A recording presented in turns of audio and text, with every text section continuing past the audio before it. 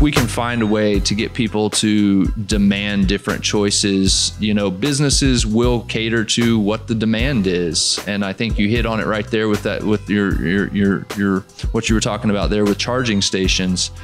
I, I, I don't know how you know it's it's going to be a huge educational process though to get people to kind of switch and realize that they need to demand something different and start making different choices and it's difficult to do that because oftentimes the cleaner healthier options are oftentimes more more expensive unfortunately yeah. um, for the average person than than the cheap solution which is oftentimes bad for their health and the environment both.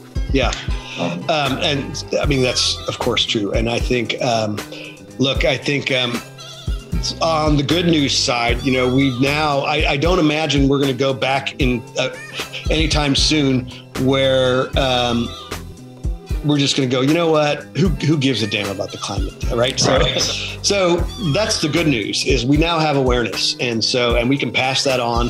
Um, I, I, personally have a problem when awareness becomes panic and hysteria and results in mental health issues with kids, then, then we've gone too far. But it's not going backwards. So that's the good news, right? And so now we actually rate we we look at companies when they do stuff we now understand that we have choice over whether or not we choose to frequent that company uh, whether or not we choose to buy their products. We we exert that will all the time. And and companies that maybe look on paper similar we're looking at two very sim- simple things. And one has a different approach to the climate that's better than the other.